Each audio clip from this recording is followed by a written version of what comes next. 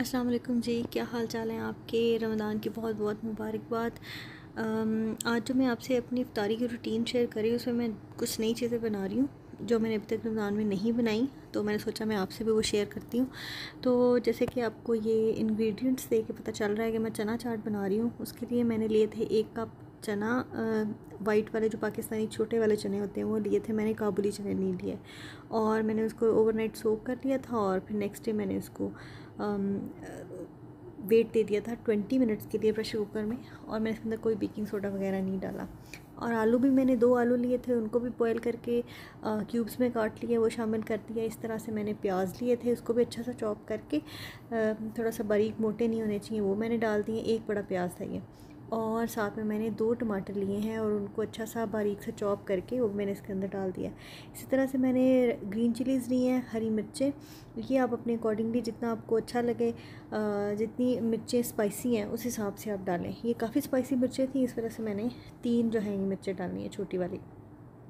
और फिर आप इस, इसको अच्छी तरह से मिक्स कर लें। साथ में मैं इसके अंदर डालूँगी पुदीना। पुदीना से बहुत अच्छा टेस्ट आता है और ये इसका एक लाजमी जुज़ है इस चाट का, इसलिए आप भी पुदीना ज़रूर डालिएगा। तो मैंने इसको धो के अच्छी तरह से चॉप करके और मैंने इसके अंदर शामिल कर लिया अब आप अपनी इस चाट को, जो सारे इंग्रेडिएंट्स हैं इनको अच्छी तरह से चम्मच की मदद से इसको मिक्स कर लें। और अब हम आगे चलते हैं इसकी सीजनिंग की तरफ़। सीजनिंग के लिए मैं इसके अंदर डालूँगी खुबानी की चटनी। उसके अंदर मैंने एक बड़ा चम्मच चाट मसाला डाला है और आधा चम्मच मैंने इसमें नमक डाला है। आप अकॉर्डिंगली अपने टेस्ट के मुताबिक डाल सकते हैं, जितना स्पाइसी आपको चाहिए। तो मैंने इसके अंदर इतना ही डाला है। एक चम्मच चाट मसाला और आधा चम्मच नमक। और उसको आप अच्छी तरह से मिक्स कर लें और फिर आप अपनी चटनी जो है वो इसके ऊपर अपने जो चना चाट है इसके अंदर मिक्स कर लें। और ये जो खुबानी की चटनी है, ये बहुत अच्छी चटनी है, मज़ेदार है, मीठी चटनी है। बेसिकली ये इसकी मैंने रेसिपी बना के अपलोड की हुई है। आप मेरे चैनल पे विज़िट करें तो फ़ूड वीडियोस की मैंने प्लेलिस्ट बनाई हुई है, उसको मैं आपको मिल जाएगी। ना मिले तो मुझे बताइएगा, मैं डिस्क्रिप्शन में उसका लिंक डाल दूँगी। बहरहाल ये it is the yummiest chaat I ever had और ये मेरे मामू के घर में बनती थी, मेरी ममानी की रेसिपी है तो आप इसको ज़रूर ट्राई करिएगा। शी मेड इट बेस्ट तो एक ये मेरा हो गया आज की इफ्तारी के लिए चीज़। दूसरा मैं आज बना रही हूँ अंडे और आलू के क्रीमी से कबाब। तो मैंने दो आलू लिए हैं, दो अंडे उबाले हैं और दोनों को मैंने मिक्स कर लिया है। उसमें मैंने एक टीस्पून काली मिर्च डाली है, एक टीस्पून नमक डाला है और एक बड़ा टेबल स्पून जो है मैंने इसके अंदर सोया सॉस डाल दी। ये टोटल इंग्रेडिएंट्स हैं इसके। तो इसको आप अच्छी तरह से मिक्स कर लें और जो भी शेप देना चाहें कबाब की आप दे लें। मैं इसको थोड़ी सी लंबी शेप दे रही हूँ। और चूँकि ये सब चीज़ें पकी हुई होती हैं, आलू भी उबले हुए हैं और अंडे भी उबले हुए हैं तो आप इसको डायरेक्ट फ्राई फ्राई भी कर सकते हैं। लेकिन मैंने इसकी कोटिंग की है ब्रेड क्रम्ब से और अंडे से, सिर्फ़ इसको नगेट्स की शक्ल देने के लिए। आपको इसको कोई ज़रूरत नहीं है कि आप इसको शेप दें जो है नगेट्स की या इसके ऊपर ब्रेड क्रम्स लगाएँ तो ये एक शशका है। बाकी इसके अंदर हर चीज़ आपको पता है पक्की भी है तो आप इसको डायरेक्ट कम ऑयल के ऊपर, तवे के ऊपर भी फ्राई करेंगे तो बड़े अच्छे से क्रीमी से कबाब बन जाएँगे। और आप चाहें तो इसके अंदर उबला हुआ चिकन भी ऐड कर सकते हैं तो वो और अच्छे बनेंगे। तो बहरहाल आज ये दो तरह की मैंने चीज़ें बनाई थी। और अब चलते हैं आगे आज की सालन की तरफ़। तो मैं बना रही हूँ माश की दाल। जो खड़ी हुई माश की दाल होती है वो। उसके लिए मैंने एक कप माश की दाल भिगो ली थी एक घंटे के लिए। फिर मैंने उसको उबाल लिया और मैंने एक चम्मच अदरक का पेस्ट और एक चम्मच लहसुन का पेस्ट लिया है और दो बड़े टमाटर मैंने ग्राइंड करके उसका पेस्ट बना लिया तो अभी चले कुकिंग शुरू करते हैं। तो एक आप कढ़ाई लें और कढ़ाई के अंदर डालें ऑयल जितना आपको ऑयल चाहिए वैसे इसमें।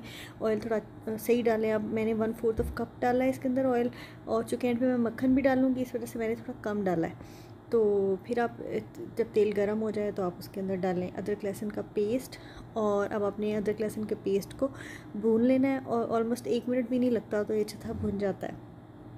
और आँच जो है, आप तेज़ रखेंगे ताकि ये जो है, वो आँच तेज़ ही रखनी पड़ती है जब भी आपने कोई चीज़ भूननी हो। तो साथ में मैंने इसके अंदर चार ये वाली होल रेड चिलीज़ डाल दी हैं। इससे जायका भी अच्छा आता है और सालन की शक्ल भी खूबसूरत लगती है, थोड़ा कलरफुल लगता है। तो ये देखिए, मेरे अदरक लहसुन का जो पेस्ट है, वो भुन गया है। अब मैं इसके अंदर डालूँगी टमाटर का जो मैंने पेस्ट बना के रखा हुआ था। दो मैंने टमाटर लिए थे और उनको मैंने थोड़ा सा उसमें पानी डाल के पेस्ट बना दिया था।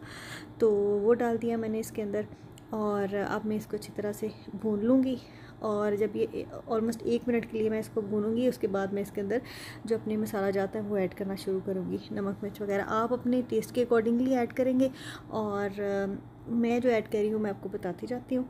मैंने इसके अंदर डाला है एक टीस्पून नमक। एक टीस्पून काली मिर्चें सॉरी रेड चिलीज़ लाल मिर्चें जो होती हैं रेड चिली फ्लेक्स हैं बेसिकली ये, और मैंने एक टीस्पून इसमें हल्दी डाली है, और हाफ़ टी स्पून मैंने इसमें ज़ीरा पाउडर डाला है हाफ़ टी स्पून ही मैं इसके अंदर सूखा धनिया डाल रही हूँ ग्राइंड किया हुआ। तो ये मेरी टोटल जो मसाला जाता है, जो मैं इसमें डाल रही हूँ, आप इसको अच्छी तरह से भून लें और मेक श्योर करें कि हल्दी और इसका जो अदरक लहसुन का पेस्ट है और सब का और टमाटर का कच्चापन बिल्कुल नहीं आए और जब ये ऑयल छोड़ दे तो इसका मतलब है कि भुन चुका है आपका मुझे मसाला। तो चम्मच इसमें फेरते हैं ताकि नीचे नहीं लगे। तो ये देखें अब मेरा जो मसाला है वो भुन गया है। अब हमें इसके अंदर जो उबली हुई माश की दाल है वो डालूँगी। माश की दाल अपने पूरी उबालनी है। अच्छी तरह से उबालनी है क्योंकि माश की दाल पकने में थोड़ा सा टाइम लगता है। दैट्स वाई चूँकि मैं इसको मसाले में भून के बनाना चाह रही थी, इसलिए मैंने इसको पहले उबाल लिया। आप दूसरे तरीके से भी बना सकते हैं, लेकिन उसमें आपको पानी डालना पड़ेगा साथ इसमें, फिर अगर आप कच्ची दाल डालेंगे ऑब्वियसली तो। इसलिए मैंने पहले इसको उबाल लिया और अब अपने मसाले में मैंने इसमें इसको भून लिया है। ये देखिए, इसने ऑयल छोड़ दिया है। तो इसका मतलब मेरी दाल जो है वो भुन गई है। हल्की आँच में मैंने इसको दम दिया टेन मिनट्स के लिए तो ये भुन गई। और साथ में मैंने इसके अंदर धनिया और हरी मिर्चें डाल दी हैं। आप इसके अंदर सूखी मेथी अगर आपके पास हो तो आप ज़रूर डालिएगा। मेरे पास वो नहीं थी तो मैं नहीं डाल सकी। तो आप सिर्फ़ वन टेबल स्पून ले के उसको हाथों पे मसल के तो इसके अंदर एंड पे जब आप धनिया और हरी मिर्चें डालते हैं तो आप ज़रूर डालिएगा। इसका बहुत खूबसूरत अरोमा आता है। टेस्ट भी बहुत अच्छा और खुशबू भी बहुत अच्छी आती है। तो प्लीज़ आप ज़रूर डालिएगा। साथ में मैं इसमें डाल रही हूँ मक्खन ऑलमोस्ट टू टेबल स्पून मैंने मक्खन डाल दिया इसके अंदर और इससे ज़रा इसका जायका भी अच्छा आता है, खुशबू भी अच्छी आती है और एक दाल मखनी सी बन जाती है। तो ये हमारी दाल देखें, अब तैयार हो गई है। अब ज़रूर बनाइएगा और मुझे बताइएगा, जिसको भी खड़ी ही माश की दाल पसंद है ना, उसको तो ये ज़रूर पसंद आएगी। तो आपने कमेंट्स में मुझे बताना है कि आपको ये मेरी रेसिपी कैसी लगी। और ढाबा स्टाइल दाल है, तैयार है इसके ऊपर अदरक ज़रूर डालें और ये हज़म करने में मदद देता है अदरक। आई होप आपको मेरा ब्लॉग अच्छा लगा होगा. थैंक यू फॉर वॉचिंग और सब्सक्राइब ज़रूर करें. अल्लाह हाफि